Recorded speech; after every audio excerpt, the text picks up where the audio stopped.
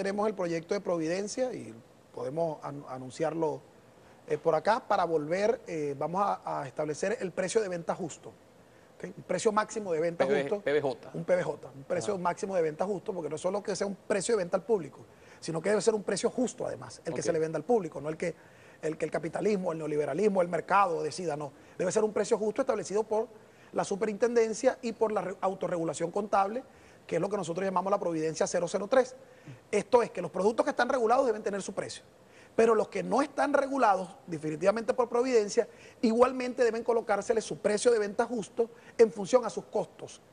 Vamos a, a sacar en los próximos días una providencia para volver al, PB al PVP, pero ahora vamos, vamos a llamarlo PBJ. Fíjese,